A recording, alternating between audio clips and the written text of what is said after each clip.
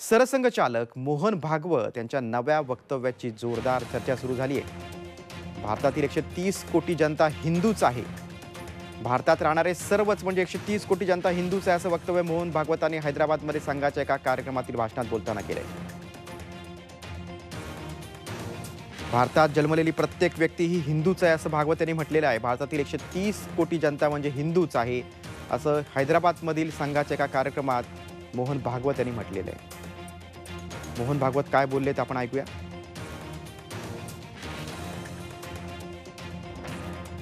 हिंदू कहता हूँ, तब किसी को छोड़ता नहीं हूँ। क्योंकि संघ जब हिंदू कहता है तो उसको पीछे तीन बातें हैं। जो भारत को अपनी मातृभूमि मानता है, भारत के जन, जल, जंगल, ज़मीन, जानवर सहित भूमि पर प्रेम करता है। उसकी भक्ति करता है।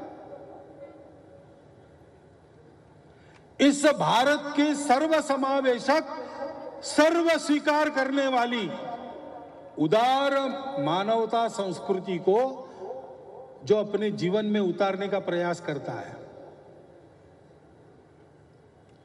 और भारत की यह नीति पूर्वक संस्कारों को, अनुशासन को मानने वाली, मनुष्य जीवन में मंगल सृजन करने वाली, संपूर्ण सृष्टि को मित्र भाव से कल्याण की ओर अग्रसर करने वाली, यह जो श्रेष्ठ संस्कृति है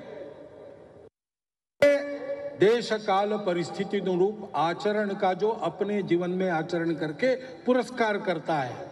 ऐसा कोई भी हो, किसी भी भाषा का बोलने वाला हो किसी भी प्रांत का रहने वाला हो, किसी भी उपासना पद्धति में पूजा करने वाला हो, या किसी की पूजा न करने वाला हो, वह भारत माता का पुत्र हिंदू है। और इस अर्थ में हमारा 130 करोड़ लोगों का पूरा समाज संघ के लिए हिंदू समाज है।